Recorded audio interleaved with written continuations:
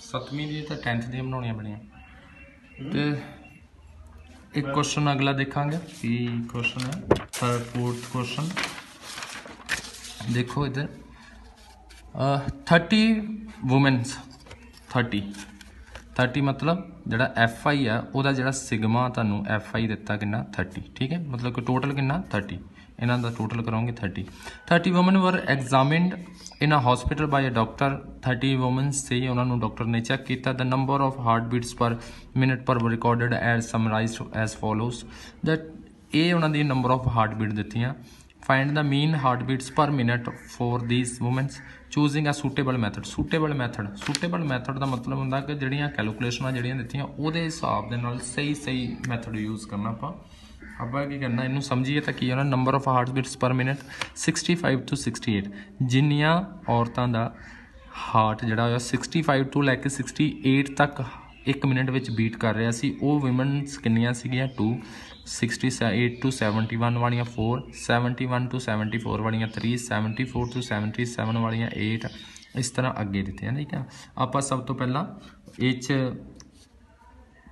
ਦੇਖੋ ਆ ਜਿਹੜੀ ਕਲਾਸ ਇੰਟਰਵਲ ਦਿੱਤੀ ਨਾ ਤੁਹਾਨੂੰ ਇਹ ਵੱਡੀ ਹੈ। ਇਹਦਾ ਮਤਲਬ ਹੈ ਕਿ ਅਸੀਂ ਇਹ ਚ ਡਾਇਰੈਕਟ ਮੈਥਡ ਨਹੀਂ ਯੂਜ਼ ਕਰਨਾ। ਆਪਾਂ ਕੀ ਕਰਨਾ ਜਾ ਕੇ ਸਟੈਪ ਡੇਵੀਏਸ਼ਨ ਹੈ ਨਾ ਤੇ ਆਪਾਂ ਕਰਨਾ ਇਹਨੂੰ ਸ਼ੁਰੂ ਕਰਨਾ ਪਹਿਲਾਂ ਲਿਖਾਂਗੇ।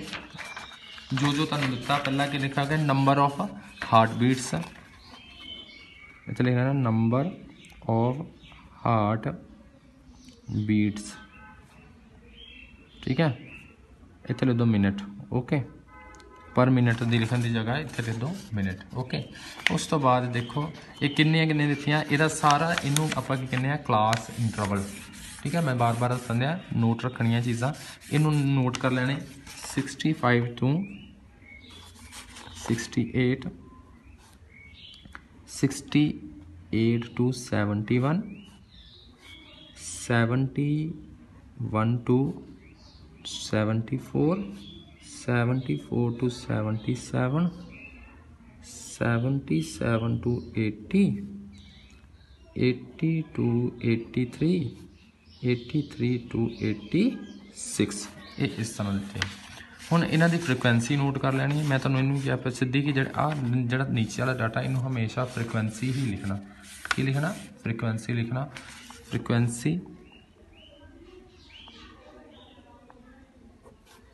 ਐਫ ਆਈ ਠੀਕ ਹੈ ਇਹਨੂੰ ਨੋਟ ਕਰ ਲਓ ਕਿੰਨਾ ਜੀ 2 4 3 8 7 4 2 ਠੀਕ ਹੈ ਇਹਨਾਂ ਨੂੰ ਕਰ ਲਿਆ ਤੁਸੀਂ ਨੋਟ ਹੁਣ ਤੁਹਾਡਾ ਅੱਗੇ ਕੰਮ ਸ਼ੁਰੂ ਹੋ ਜਾਂਦਾ ਆਪਾਂ ਸਭ ਤੋਂ ਪਹਿਲਾਂ ਮੈਂ ਤੁਹਾਨੂੰ ਕੀ ਦੱਸਿਆ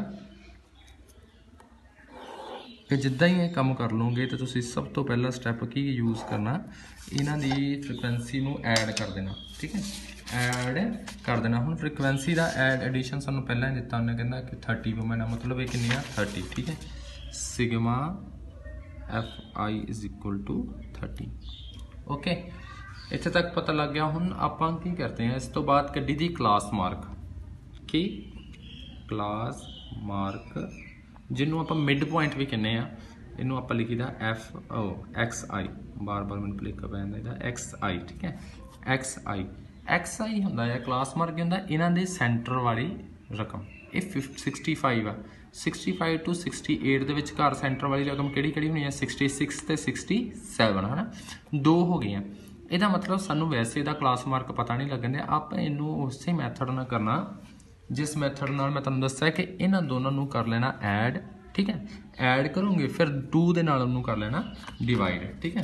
ਪਹਿਲਾਂ ਕਰ ਲੈਣਾ ਐਡ ਫਿਰ 2 ਨਾਲ ਡਿਵਾਈਡ ਮੈਂ ਤੁਹਾਨੂੰ ਇੱਥੇ ਦੱਸ ਦਿਨ ਨਾਲ ਨਾਲ ਇਧਰ ਰਫਲੀ ਦੱਸਦਾ।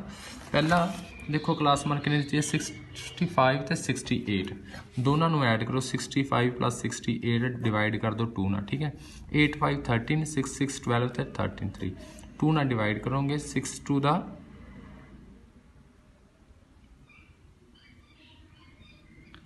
ਇਹਨੂੰ 2 ਨਾਲ ਡਿਵਾਈਡ ਕਰਾਂਗੇ, ਆਪਾਂ ਤਾਂ ਇਹ ਤੁਹਾਡੇ ਕੋਲ ਆ ਜਾਣਾ 133 ਨੂੰ 2 ਨਾਲ ਡਿਵਾਈਡ ਕੀਤਾ 2 6 ਦਾ 12 ਉੱਪਰੋਂ ਉਤਾਰਿਆ 1 ਮਾਈਨਸ ਆਇਆ, ਉੱਪਰੋਂ 3 ਆਇਆ 2 6 ਦਾ 12 ਫਿਰ 1 ਆਇਆ, ਇੱਥੇ ਪੁਆਇੰਟ ਲੱਗਾ, ਠੀਕ ਹੈ ਡਿਵਾਈਡ ਪੂਰਾ ਕਰਨਾ ਕੰਪਲੀਟ ਪੁਆਇੰਟ ਲੱਗਾ, ਫਿਰ ਉੱਪਰੋਂ ਲਾਈ ਇੱਕ, ਤੁਹਾਨੂੰ 0 ਜਿੱਦਾਂ ਪੁਆਇੰਟ ਲਾਉਨੇ ਇੱਕ 0 ਨਾਲ ਮਿਲ ਜਾਂਦੀ ਆ 5 ਟੂ ਦਾ 10 ਖਤਮ। ਨਾ ਆਇਆ 66.5 ਇਹਨੂੰ ਲਿਖੋ 60 6.5 ਪੁਆਇੰਟ ਆ ਜੇ ਤੇ ਡਰਨਾ ਨਹੀਂ ਬੜਾ ਸੌਖਾ ਹੋ ਜਾਂਦਾ, ਕੋਈ ਜ਼ਿਆਦਾ ਮੁਸ਼ਕਿਲ ਵਾਲੀ ਗੱਲ ਨਹੀਂ। ਉਸ ਤੋਂ ਬਾਅਦ ਫਿਰ ਤੁਹਾਨੂੰ ਦਿੱਤੀ ਹੈ 68 ਤੇ 71 ਹਨਾ ਹੁਣ ਦੇਖੋ। ਇੱਕ ਕਲਾਸ ਮਾਰਕ ਤੁਸੀਂ ਕੱਢ ਲਓਗੇ ਨਾ, ਬਾਕੀਆਂ ਦਾ ਤੁਹਾਨੂੰ ਆਪ ਵੈਸੇ ਹੀ ਪਤਾ ਲੱਗ ਜਾਣਾ। ਹੁਣ ਦੇਖੋ, ਇਹ 65 ਤੇ ਇਹ ਕਿੰਨਾ 68 ਦੋਨਾਂ ਦੇ ਵਿੱਚ ਡਿਫਰੈਂਸ ਕਿੰਨਾ? 3 ਕਿੰਨਾ? 3 ਦਾ। 3 ਐਡ ਹੁੰਦੇ ਨਾ, ਇੱਥੋਂ 5 ਸੀ 3 ਐਡ ਕੀਤੇ 68 ਹੋ ਗਿਆ। ਉਹੀ 3 ਇਹਦੇ ਵਿੱਚ ਐਡ ਕਰੀ ਜਾਓ, ਠੀਕ ਹੈ? ਜਿਹੜਾ ਇਹਦੇ ਵਿੱਚ ਡਿਫਰੈਂਸ ਆ, ਉਹਨੂੰ ਇਹਦੇ ਵਿੱਚ ਐਡ ਕਰੀ ਜਾਣਾ। ਜਿੰਨਾ ਇਹ ਵੱਧ ਰਿਹਾ ਉਨਾ ਹੀ ਇਹਦੇ ਵਿੱਚ ਤੁਸੀਂ ਵਧਾਈ ਜਾਣਾ। ਮਤਲਬ 65 ਤੋਂ ਲੈ ਕੇ 68 ਕਿੰਨੇ ਫ਼ਰਕ ਪਿਆ? 66 7 ਤੇ 8 ਮਤਲਬ 3 ਐਡ ਹੋਇਆ। ਉਹੀ 3 ਤੁਸੀਂ ਇਹਦੇ ਚ ਐਡ ਕਰੀ ਜਾਣਾ। ਇਹਦੇ ਵਿੱਚ 3 ਐਡ ਕਰੋਗੇ ਤਾਂ ਇਹ ਨਾ ਆ 0.5 ਤੇ ਇੱਦਾਂ ਹੀ ਰਹਿਣਾ ਨਾਲ। 66 ਦੇ ਵਿੱਚ 3 ਐਡ ਕਰੋਗੇ 69.5 ਠੀਕ ਹੈ? 69 ਦੇ ਵਿੱਚ 3 ਐਡ ਕਰੋਗੇ 72.5 ਠੀਕ ਹੈ?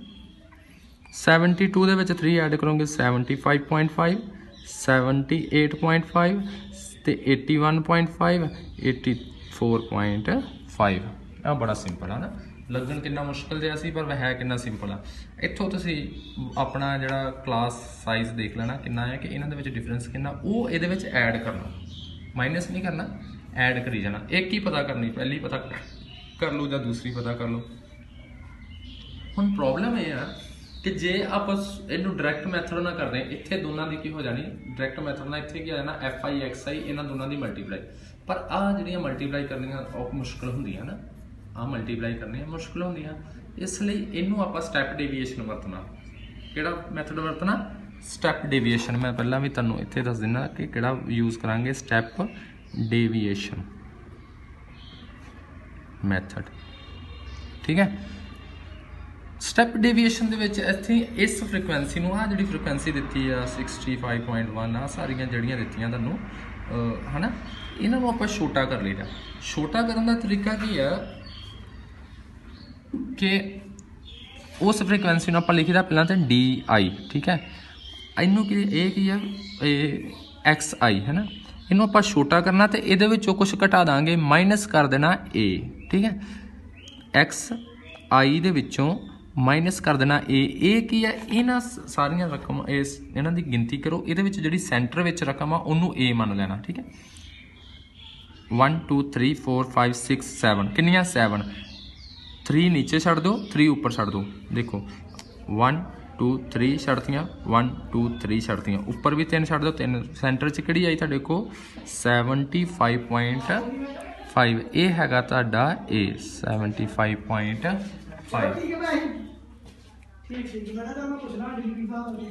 ਠੀਕ ਹੈ? Xi 75.5 ਹੋ ਗਿਆ। ਹੁਣ ਤੁਸੀਂ ਬਸ ਇਹਨਾਂ ਦੀ ਮਾਈਨਸ ਕਰ ਦੇਣੀ। ਇਹ ਸਟੈਪ ਦੀ ਇੱਕ ਪਛਾਣ ਹੁੰਦੀ ਇਹਦੇ ਵਿੱਚ ਸਾਰੇ ਦੋ, ਪਹਿਲੇ ਤਿੰਨ ਜਿੱਦਾਂ ਆਹ ਤਿੰਨ ਤੁਸੀਂ ਤੁਹਾਡੇ ਜਿੱਤ ਤਿੰਨ ਤਿੰਨ ਦੇ ਬਣੇ ਆ ਨਾ, ਤੇ ਪਹਿਲੇ ਤਿੰਨ ਮਾਈਨਸ ਵਾਲੇ ਆਉਣੇ ਆ ਲਾਸਟ ਵਾਲੇ ਤਿੰਨ ਪਲੱਸ ਵਾਲੇ ਆਉਣੇ, ਠੀਕ ਹੈ?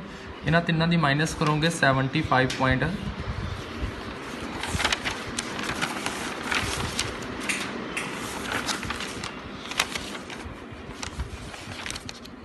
ਕੋਈ ਇੱਕ ਮਾਈਨਸ ਕਰਕੇ ਦੇਖ ਲਓ, xi ਕਿੰਨਾ ਆ? 67.5 ਇਹਦੇ ਵਿੱਚੋਂ ਮਾਈਨਸ ਕਰਨਾ 75.5 ਐਕਸ ਆਈ ਕਿੰਨਾ ਸੀ? ਇੱਧਰ ਮੈਂ ਰਫਲੀ ਦੱਸ ਦਿੰਦਾ ਤੁਹਾਨੂੰ।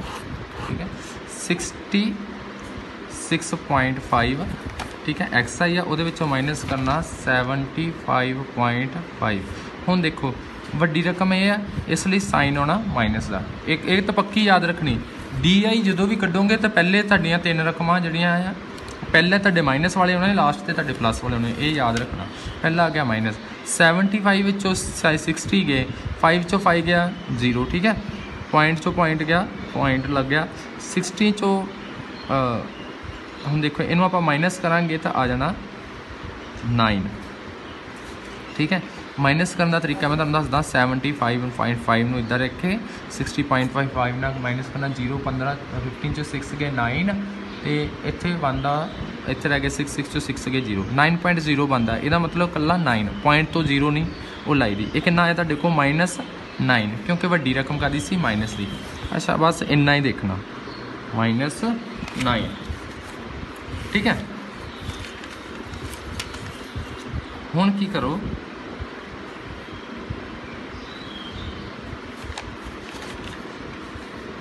ਫਿਰ ਅਗਲੀ ਵਿੱਚੋਂ 65.59 ਨੂੰ ਇਹਨੂੰ ਮਾਈਨਸ ਕਰ ਦੇਣਾ। ਪਰ ਮੈਂ ਇੱਕ ਹੋਰ ਤਰੀਕਾ ਤੁਹਾਨੂੰ ਇੱਥੇ ਸ਼ਾਰਟ ਤਰੀਕਾ ਦੱਸਦਾ। ਕਰਨਾ ਤੁਸੀਂ ਕਿੱਦਾਂ ਆ? ਇਹਦੇ ਵਿੱਚੋਂ ਫਿਰ ਇਹਨੂੰ ਮਾਈਨਸ ਕਰਨਾ। ਸੈਕੰਡ ਵਾਲੀ ਵਿੱਚੋਂ 75.5 ਨੂੰ ਮਾਈਨਸ ਕਰਨਾ। ਕਿਸ ਤਰ੍ਹਾਂ? ਮੈਂ ਤੁਹਾਨੂੰ ਨਾਲ ਕਰਕੇ ਦਿਖਾਉਣਾ। 75.5 ਇਹ ਮਾਈਨਸ ਦਾ ਇਹਦੇ ਵਿੱਚੋਂ ਮਾਈਨਸ ਕਰਨਾ। ਕਿਹਨੂੰ? 60 ਇਹ 69.5 ਵਿੱਚੋਂ ਮਾਈਨਸ ਕਰਨਾ 75.9 69.5 ਵਿੱਚੋਂ ਮਾਈਨਸ ਕਰਨਾ 75.5 ਇਹਨੂੰ ਆਪਾਂ ਲਿਖੀਦਾ ਇਸ ਤਰ੍ਹਾਂ 75.5 ਮਾਈਨਸ 69.5 ਆ ਗਿਆ 15 ਚ 9 ਗਏ 6 ਪੁਆਇੰਟ ਦਾ 5 ਚੋਂ 5 ਗਏ 0 6.0 ਆਇਆ ਨਾ ਪਰ ਆਪਾਂ ਕੀ ਲਾਉਣਾ ਕੱਲਾ 6 ਹੁਣ ਵੱਡੀ ਰਕਮ ਮਾਈਨਸ ਦੀ ਸੀ ਇਸ ਲਈ ਨਾਲ ਮਾਈਨਸ ਇਹ ਆ ਜਾਣਾ ਮਾਈਨਸ 6 ਠੀਕ ਹੋ ਠੀਕ ਹੈ? ਇਹ ਕਿੰਨਾ ਫ਼ਰਕ ਪੈਂਦਾ 9 ਚੋਂ 6 ਕਿ ਮਤਲਬ 3 ਘਟ ਗਏ ਅਗਲਾ ਵੀ 3 ਘਟਾ ਦਿਓ ਕਿੰਨਾ ਰਹਿ ਜਾਣਾ? 3 ਠੀਕ ਹੈ? ਪਤਾ ਲੱਗਾ? ਹੋ ਇਸ ਤਰ੍ਹਾਂ ਕਰ ਲੈਣਾ। ਉਸ ਤੋਂ ਬਾਅਦ ਦੇਖੋ 75.5 ਵਿੱਚੋਂ 75.5 ਘਟਾਵਾਂਗੇ ਤੇ 0 ਠੀਕ ਹੈ? ਹੁਣ ਨੀਚੇ ਵਾਲੇ ਕੱਢਣੇ ਨੇ। ਨੀਚੇ ਵਾਲੇ ਆਪਾਂ ਕੱਢਣੇ ਨਹੀਂ ਹੈਗੇ। ਇਹਨਾਂ ਨੂੰ ਪਲੱਸ ਵਿੱਚ ਲਿਖ ਦੇਣਾ। ਇਹਨਾਂ ਨੂੰ ਕਾਹਦੇ ਚ ਲਿਖ ਦੇਣਾ? ਪਲੱਸ ਵਿੱਚ। ਆ ਮਾਈਨਸ ਦੇ ਇਹਨਾਂ ਨੂੰ ਪਲੱਸ ਵਿੱਚ ਲਿਖ ਦੇਣਾ। ਪਰ ਇੱਕ ਚੀਜ਼ ਯਾਦ ਰੱਖਣੀ ਆ, ਉੱਪਰ ਇਦਾਂ ਨਹੀਂ ਲਿਖਣਾ 9 6 3 ਪਲੱਸ ਨਹੀਂ, ਉਲਟਾ ਕਰਨਾ 3 ਪਹਿਲਾਂ 6 ਬਾਅਦ ਚ 9 ਬਾਅਦ ਠੀਕ ਹੈ? ਇਹ ਚੀਜ਼ਾਂ ਬਾਰ-ਬਾਰ ਯਾਦ ਰੱਖਣੀਆਂ। ਹੁਣ ਮੈਂ ਸ਼ਾਰਟ ਮੈਥਡ ਨਾਲ ਨਾਲ ਤੁਹਾਨੂੰ ਦੱਸੀ ਜਾਣੇ ਆ। ਇਹਦਾ ਵੀ ਤੁਹਾਨੂੰ ਦੱਸਣਾ ਸੀ, ਪਰ ਚਲੋ ਹੁਣ ਅਗਲੇ ਕੁਐਸਚਨ 'ਚ ਦੱਸਾਂਗੇ ਇੱਕ ਚੀਜ਼। ਡੀ ਆਈ ਆ ਗਿਆ ਤਾਂ ਦੇਖੋ, ਹੁਣ ਉਸ ਤੋਂ ਬਾਅਦ ਕੀ ਕੱਢੀ ਤਾਂ ਆਪਾਂ ਯੂ ਆਈ ਯੂ ਆਈ ਕੀ ਹੁੰਦੀ ਆ? ਯੂ ਆਈ ਹੁੰਦੀ ਆ ਡੀ ਆਈ ਨੂੰ ਆਪਾਂ ਡਿਵਾਈਡ ਕਰੀਦਾ ਐਚ ਨਾਲ, ਠੀਕ ਹੈ? ਇਸ ਤੋਂ ਵੀ ਛੋਟੀ ਰਕਮ ਕਰ ਲਈਦੀ ਇਹਨੂੰ। ਇਸ ਤੋਂ ਵੀ ਇਹਨੂੰ ਕੀ ਕਰ ਲਈਦਾ? ਛੋਟਾ ਕਰ ਲਈਦਾ। ਉਹ ਛੋਟਾ ਕਰਨ ਦਾ ਤਰੀਕਾ ਕੀ ਹੈ? 963 ਇਹਨਾਂ ਨੂੰ ਵੀ ਹੋਰ ਛੋਟਾ ਕਰ ਲਈਦਾ। ਕਿ ਜਿਹੜਾ ਡੀ ਆਈ ਹੈ ਆ ਜਿਹੜੀਆਂ ਰਕਮਾਂ ਆਈਆਂ ਤੁਹਾਡੇ ਕੋਲ 9 9 ਇਹਨਾਂ ਨੂੰ ਡਿਵਾਈਡ ਕਰ ਦੇਣਾ ਐਚ ਨਾਲ। ਐਚ ਕਿੰਨਾ ਹੁੰਦਾ ਹੈ? ਐਚ ਹੁੰਦਾ ਜਿਹੜੀ ਤੁਹਾਡੀ ਕਲਾਸ ਇੰਟਰਵਲ ਦਾ ਸਾਈਜ਼ ਆ। 65 ਟੂ 68 ਇਹਦਾ ਮਤਲਬ ਹੈ ਸਾਈਜ਼ ਇਹਦੇ ਚ ਡਿਫਰੈਂਸ ਕਿੰਨੇ ਦਾ? 3 ਉਹ 3 ਕਿ ਤੁਹਾਡਾ ਕੀ ਆ? ਐਚ ਠੀਕ ਹੈ? ਇਹਦਾ ਜਿਹੜਾ ਸਾਈਜ਼ ਹੁੰਦਾ, ਉਹ ਹੁੰਦਾ 3 ਡੀ ਆਈ ਨੂੰ 3 ਨਾਲ 9 ਨੂੰ 3 ਨਾਲ ਡਿਵਾਈਡ ਕਰੋਗੇ ਕਿੰਨਾ ਦੇਣਾ? 9 ਨੂੰ 3 ਨਾਲ ਡਿਵਾਈਡ ਕਰੋਗੇ 3 ਆਉਣਾ -3 ਠੀਕ ਹੈ? ਆ ਗਿਆ। 6 ਨੂੰ 3 ਨਾਲ ਡਿਵਾਈਡ ਕਰੋਗੇ, ਕਿੰਨਾ ਆਣਾ 2 -2 ਆ ਗਿਆ। 3 ਨੂੰ 3 ਨਾਲ ਡਿਵਾਈਡ ਕਰੋਗੇ 1 -1 ਆ ਗਿਆ। ਆ ਨਾਲ ਮਾਈਨਸ ਲਾ ਦੇਣੇ। ਹੁਣ ਫਿਰ ਮੈਂ ਤੁਹਾਨੂੰ ਦੱਸਿਆ ਇੱਥੇ ਜ਼ੀਰੋ ਲਾ ਦੇਣਾ। ਫਿਰ ਆ ਇਹਨਾਂ ਨੂੰ ਕੀ ਕਰ ਦੇਣਾ? ਇਹ ਮਾਈਨਸ ਦੇ ਸੀ, ਇਹਨਾਂ ਨੂੰ ਪਲੱਸ 'ਚ ਲਿਖ ਦੇਣਾ। ਇਦਾਂ ਸੇਮ ਟੂ ਸੇਮ ਪਰ ਉਲਟਾ ਸ਼ੁਰੂ ਕਰਨਾ। ਇਦਾਂ ਨਹੀਂ ਦੇਣਾ -3 -2 -3 2 1 ਨਹੀਂ ਲਿਖਣਾ। ਉਲਟਾ ਲਿਖਣਾ। 1 ਪਲੱਸ ਦਾ 1 ਹੋ ਗਿਆ। ਆ 2 ਦਾ ਇੱਥੇ ਪਲੱਸ ਦਾ 2 ਹੋ ਗਿਆ। ਇਹ 3 ਦਾ ਪਲੱਸ ਦਾ 3 ਹੋ ਗਿਆ। ਓਕੇ ਦੋ ਸਟੈਪ ਹੋ ਗਏ। ਲਾਸਟ ਤੇ ਤੁਸੀਂ ਕੀ ਕਰੀਦਾ? ਇਹਨੂੰ ਕੀ ਕਰੀਦਾ? ਐਡ ਓ oh, ਪਹਿਲਾਂ ਇਹਨਾਂ ਦੋਨਾਂ ਦੀ ਮਲਟੀਪਲਾਈ ਮਲਟੀਪਲਾਈ ਹੁਣ ਕਿਹਦੀ ਕਿਹਦੀ ਹੋਣੀ ਆ? ਫ੍ਰੀਕੁਐਂਸੀ ਦੀ। ਇਹ ਯਾਦ ਰੱਖਣਾ ਜਿਹੜਾ ਤੁਸੀਂ ਸਮ ਕੱਢਿਆ। ਫ੍ਰੀਕੁਐਂਸੀ ਫ੍ਰੀਕੁਐਂਸੀ ਦੀ ਹੀ ਹਰ ਵਾਰੀ ਮਲਟੀਪਲਾਈ ਹੋਣੀ ਆ ਆ ਇਸ ਇਹਦੇ ਨਾਲ, ਠੀਕ ਹੈ? ਇਹ ਕਿੰਨਾ ਆ ਜਾਣਾ? ਐਫ ਆਈ ਤੇ ਮਲਟੀਪਲਾਈ ਕਰਨਾ, ਕਰਨ ਲੱਗੇ ਤੁਸੀਂ ਯੂ ਆਈ ਨਾਲ। 2 3 ਦਾ 6 ਮਾਈਨਸ 6 ਮਾਈਨਸ ਲੱਗਣਾ ਨਾਲ। 2 4 ਦਾ 8 ਮਾਈਨਸ 8 3 1 ਦਾ 3 ਮਾਈਨਸ 3 8 ਨੂੰ 0 ਨਾ ਕਰੋਗੇ 0 ਆ ਸੈਂਟਰ ਵਾਲੀ ਜ਼ੀਰੋ ਹੀ ਆਉਂਦੀ ਹੁੰਦੀ, ਇਹ ਵੀ ਨਿਸ਼ਾਨੀ ਰੱਖਣੀ ਆ ਸਾਰੀਆਂ ਲਾਈਨ ਜ਼ੀਰੋ ਹੀ ਆਉਣੀ। 7 1 ਦਾ 7 4 2 ਦਾ 8 2 3 ਦਾ 6 ਓਕੇ ਹੁਣ ਕੀ ਹੈ ਤੁਹਾਡਾ? ਇੱਥੇ ਤੁਸੀਂ ਸਿਗਮਾ ਇਹਨਾਂ ਦਾ ਕੀ ਕਰਨਾ? ਐਡ ਸਿਗਮਾ ਐਫ ਆਈ ਤੇ ਯੂ ਆਈ ਇਜ਼ ਟੂ ਆ ਗਿਆ। ਪਹਿਲਾਂ ਮੈਂ ਤੁਹਾਨੂੰ ਦੱਸਿਆ ਪਲੱਸ ਵਾਲੇ ਦਾ ਐਡ ਕਰੋ 7 8 15 ਤੇ 6 21 ਕਿੰਨੇ ਹੋ ਗਏ? 21 ਮਾਈਨਸ ਵਾਲਿਆਂ ਨੂੰ ਵੀ ਐਡ ਕਰੋ। 8 ਤੇ 6 ਹੋ ਗਏ। 8 ਤੇ 3 11 11 ਤੇ 6 17 ਇਹਨਾਂ ਦੇ ਨਾਲ ਮਾਈਨਸ ਲੱਗਾ, ਇਸ ਲਈ ਮਾਈਨਸ ਲਾਉਣਾ। ਮਾਈਨਸ 17 ਕਿੰਨਾ ਆ ਗਿਆ? 4 ਠੀਕ ਹੈ? 21 ਚ 17 ਗਏ 4 ਓਕੇ ਹੁਣ ਤੁਸੀਂ ਕੀ ਕਰਨਾ? ਇਹਦਾ ਮੀਨ ਕੱਢਣਾ। ਇਸ ਤੇ ਜਿਹੜਾ ਸਟੈਪ ਡੇਵੀਏਸ਼ਨ ਹੁੰਦਾ, ਉਹਦਾ ਮੀਨ ਕੱਢਣ ਦਾ ਫਾਰਮੂਲਾ ਅਲੱਗ ਹੁੰਦਾ। ਉਹ ਫਾਰਮੂਲਾ ਕੀ ਹੁੰਦਾ ਆ? A ਪਲੱਸ h ਇਨਟੂ ਇਹਨਾਂ ਦੋਨਾਂ ਦੀ ਡਿਵਾਈਡ ਆ ਜਿਹੜੇ ਦੋ ਸਮ ਕੀਤੇ ਤੁਸੀਂ, ਇਹਨਾਂ ਦੋਨਾਂ ਦੀ ਡਿਵਾਈਡ ਮਤਲਬ sigma F I U I over sigma fi I ਨਾ ਵੀ ਲਿਖੋਗੇ ਨਾ ਫਾਰਮੂਲਾ ਤਦ ਵੀ ਕੋਈ ਪ੍ਰੋਬਲਮ ਨਹੀਂ। ਤੁਸੀਂ ਸਿੱਧਾ ਵੀ ਲਿਖ ਸਕਦੇ ਆ। 4 ਓਵਰ 30 ਠੀਕ ਹੈ? ਜਿਹੜਾ ਆਪਾਂ ਬਾਅਦ ਚ ਭਰਨਾ, a ਇਹ ਕਿੰਨਾ ਲਿਆ ਸੀ? ਇਹ ਮੈਂ ਤੁਹਾਨੂੰ ਇੱਥੇ ਪਰ ਅੱਜ ਸੈਂਟਰ ਮੈਂ ਕਿੰਨਾ ਹੁੰਦਾ? ਹਰ ਵਾਰੀ ਗੋਲ ਕਰ ਦੇਣਾ ਭਾਵੇਂ। ਕਰ ਲਓ ਤੁਸੀਂ ਭਾਵੇਂ ਜਾਂ ਅੰਡਰਲਾਈਨ ਕਰ ਲਓ, ਠੀਕ ਹੈ? ਇਹ ਤੁਹਾਡਾ ਸਿੱਧਾ ਪਤਾ ਲੱਗ ਜਾਣਾ 75.5 ਪਲੱਸ h ਕਿੰਨਾ ਲਿਆ ਤੁਹਾਡਾ? ਕਲਾਸ ਸਾਈਜ਼ ਕਲਾਸ ਸਾਈਜ਼ ਮੈਂ ਤੁਹਾਨੂੰ ਮੈਂ ਤੁਹਾਨੂੰ ਤਾਂ ਹੀ ਇੱਥੇ ਲਿਖਾਉਣ ਦਿਆਂ ਤੁਹਾਨੂੰ ਪਤਾ ਲੱਗੇ h ਮੇਰਾ ਕਿੰਨਾ ਹੈ। H ਮੇਰਾ ਕਿੰਨਾ ਲਿਆ? H ਦੀ ਜਗ੍ਹਾ ਤੇ 3 ਜੋ ਕਿ ਹੁੰਦਾ ਇਹਨਾਂ ਦੋਨਾਂ ਦਾ ਸਾਈਜ਼ 65 ਟੂ 68 ਮਤਲਬ 3 ਦਾ ਫ਼ਰਕ ਪਿਆ। 3 ਇਹਨੂੰ ਆ ਗਿਆ। ਅੱਗੇ ਬ੍ਰੈਕਟ ਵਿੱਚ ਪਹਿਲਾਂ ਇੱਧਰ ਵਾਲੇ ਦਾ ਜੋੜ 4 ਓਵਰ 30 ਠੀਕ ਹੈ? ਠੀਕ ਹੈ? ਥੋੜਾ ਜਿਹਾ ਇੱਕ ਸਟੈਪ ਹੁਣ ਜ਼ਿਆਦਾ ਹੋ ਜਾਣਾ। ਤੁਸੀਂ ਕੀ ਕਰਨਾ? ਆ ਸਟੈਪ ਨਾਲ ਨੋਟ ਕਰਿਓ, ਸਿੱਧਾ ਇੱਥੋਂ ਨੋਟ ਕਰਿਓ 65.5 ਪਲੱਸ 3 ਆ ਬ੍ਰੈਕਟ ਦੀ ਜਗ੍ਹਾ ਤੇ ਪਾ ਲਓ ਮਲਟੀਪਲਾਈ 4 ਓਵਰ 30 ਆ ਤੁਹਾਡਾ ਦੇਖੋ, ਕੱਟਿਆ ਜਾਣਾ। 3 1 ਦਾ 3 3 10 ਦਾ 30 ਠੀਕ ਹੈ? ਹੁਣ ਕੀ ਆ ਗਿਆ? ਤੁਹਾਡੇ ਕੋਲ ਆ ਗਿਆ 75.5 ਪਲੱਸ 4 ਓਵਰ 10 ਕਿੰਨਾ ਆਇਆ? 4 ਓਵਰ 10 ਰਹਿ ਕੀ ਗਿਆ ਤੁਹਾਡੇ ਕੋਲ? ਮੈਂ ਤੈਨੂੰ ਨਾ ਇਹਨੂੰ ਸਹੀ ਤਰ੍ਹਾਂ ਕਰਕੇ ਦੱਸਦਾ। 75.5 ਪਲੱਸ ਰਹਿ ਗਿਆ 4 ਓਵਰ 10 ਠੀਕ ਹੈ? ਹੁਣ ਦੇਖੋ ਜਾਂ ਤਾਂ ਇੱਕ ਤਰੀਕਾ ਇਹ ਹੁੰਦਾ ਕਿ ਇਹਨਾਂ ਦੋਨਾਂ ਦੀ ਕਰ ਲਓ ਡਿਵਾਈਡ ਤੇ ਉਹਨੂੰ ਇਹਦੇ ਨਾਲ ਐਡ ਕਰ ਦਿਓ, ਠੀਕ ਹੈ? ਤੇ ਦੂਸਰਾ ਇੱਕ ਤਰੀਕਾ ਹੁੰਦਾ ਕਿ ਇਹਨਾਂ ਦੀ ਕ੍ਰਾਸ ਮਲਟੀਪਲਾਈ ਕਰੋ। ਇਹਦੇ 'ਚ ਵੈਸੇ ਕ੍ਰਾਸ ਮਲਟੀਪਲਾਈ ਕਰੋਗੇ ਤਾਂ ਤੁਹਾਨੂੰ ਸੁਵਿਧਾ ਰਹਿਣੀ ਆ। ਪਰ ਜੇ ਨਹੀਂ ਕਰਨਾ ਤਾਂ ਇਸ ਤਰ੍ਹਾਂ ਕਰੋ, ਦੇਖੋ, ਮੈਂ ਤੁਹਾਨੂੰ ਸੌ- ਸੌਖਾ ਦਾ ਕੰਮ ਦੱਸਦਾ। ਇਹ ਆ ਗਿਆ 75.5 ਠੀਕ ਹੈ? ਇਹਨਾਂ ਦੋਨਾਂ ਨੇ ਡਿਵਾਈਡ ਕਰੀਏ ਡਿਵਾਈਡ ਇਹਨਾਂ ਨੂੰ ਕਰੀਦਾ ਨਹੀਂ, ਜਦੋਂ ਨੀਚੇ ਜ਼ੀਰੋ ਵਾਲੀ ਰਕਮ ਹੋ ਜਾਏ ਡਿਵਾਈਡ ਨਹੀਂ ਕਰੀਦਾ। ਬਸ ਜਿੰਨੀਆਂ ਜ਼ੀਰੋ ਆ, ਉਹਨੇ ਅੱਖਰ ਛੱਡ ਕੇ ਪੁਆਇੰਟ ਲਾ ਦਿੱਤਾ। ਪਲੱਸ ਦਾ ਪਲੱਸ ਪਾ ਲਿਆ 4 ਪਾ ਲਿਆ ਠੀਕ ਹੈ? ਇੱਕ ਜ਼ੀਰੋ ਆ ਤੇ ਇੱਕ ਅੱਖਰ ਛੱਡ ਕੇ ਪੁਆਇੰਟ 75.5 ਪਲੱਸ 0.4 ਇਹ ਆ ਗਿਆ 75.5 ਤੇ 4 ਕਿੰਨੇ ਹੋ ਗਏ? 9 ਆਨਸਰ ਓਕੇ ਸਮਝ ਲੱਗੀ? ਇਸ ਦੌਰਾਨ ਇਹਨੂੰ ਨੋਟ ਕਰ ਲੈਣਾ। ਪਹਿਲਾਂ ਇਹਨੂੰ ਨੋਟ ਕਰ ਲਓ।